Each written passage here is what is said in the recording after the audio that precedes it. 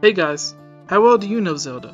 Did you know the origins of the Zelda series? As a kid, Miyamoto loved exploring, often wandering deep into the woods.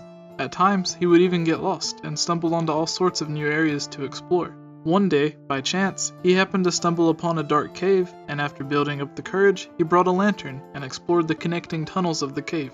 Sound familiar? Did you know the title's origins?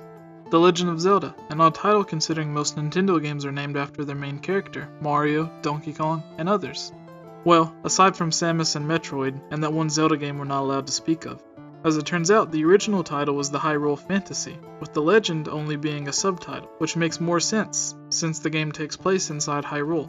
Japan eventually grew fond of the American title, and it took the place of the original. Did you know the origins of the Triforce? The Triforce was originally going to be made of microchips. In an interview with Miyamoto, he stated the original story was going to take place between the past and the future. Instead of a Triforce granting power, we would be collecting a piece of a time machine. After each dungeon, we would collect more microchips and travel between time, with Link being a literal link between the past and the future. And several other Zelda games have also dabbled with time warping and time manipulation as well. Fun fact Nintendo now states Link doesn't speak to help link the player to the world of Hyrule, and to help us cast our own emotions and feelings onto him. Did you know? Was it Mario or Zelda? Over the years, Mario and Zelda have shared many of the same character designs. This is the most prominent in Link's Awakening, but the sharing of assets go even further back than that. During the early stages of development with the original Zelda and Mario games, Miyamoto would come up with an idea or gameplay mechanic and experiment with which game it was better suited in.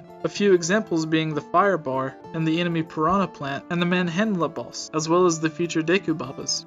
Did you know the original Zelda had DLC? While Zelda was always meant to be an adventure game, Nintendo has always wanted to innovate. One such innovation came with the Famicom Disk System add-on. With the floppy disk drive, we would be able to design our own dungeons, save them, and share them with friends. Think SimCity, but with dungeons, or something similar to what Nintendo is finally doing now with the Mario Maker. Please take a moment to like this channel on Facebook and follow us on Twitter at facebook.com slash gameoverjesse and twitter.com slash gameoverjesse. Hey guys, I want to thank you for watching this video. Please thumb up and subscribe if you liked it. The Legend of Zelda series is a real passion of mine.